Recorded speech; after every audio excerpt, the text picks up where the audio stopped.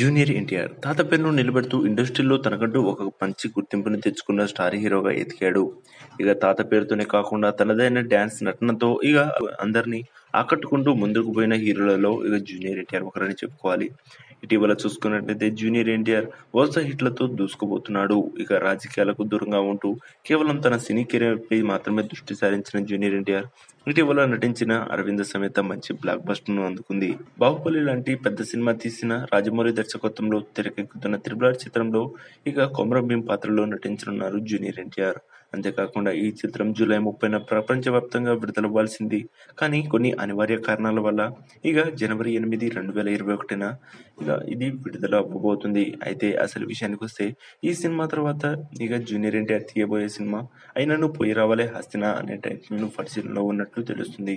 అది కూడా అరవింద సమేత లాంటి మంచి బ్లాక్ బస్టర్ ఇచ్చిన త్రివిక్రమ్తో చేస్తుండడంతో ఇక మంచి హైప్ కూడా నెలకొంది. ప్రస్తుతం చూసుకున్నట్లయితే మరో వార్త సోషల్ మీడియాలో వైరల్గా మారింది. అదేంటంటే ఇప్పుడు జూనియర్ ఎన్టీఆర్ భార్య లక్ష్మీ ప్రణతి బాలయ్య భార్యపై చేసిన కామెంట్స్ ఇప్పుడు సోషల్ మీడియాలో చక్కలు కొడుతుంది. నా అత్త అంటే నాకు చాలా ఇష్టమని. ఇక జూనియర్ ఎన్టీఆర్ తల్లి తర్వాత అంతటి అభిమానించే ఎవరైనా ఉన్నారు అంటే ఇక బాలయ్య గారి భార్య నా అత్తగారేనంటూ కొట్ట బద్దలు కొట్టేసింది. ప్రస్తుతం ఈమె చెప్పిన మాటలు సోషల్ మీడియాలో వైరల్ అవుతుండడం ఇక గమనార్హం.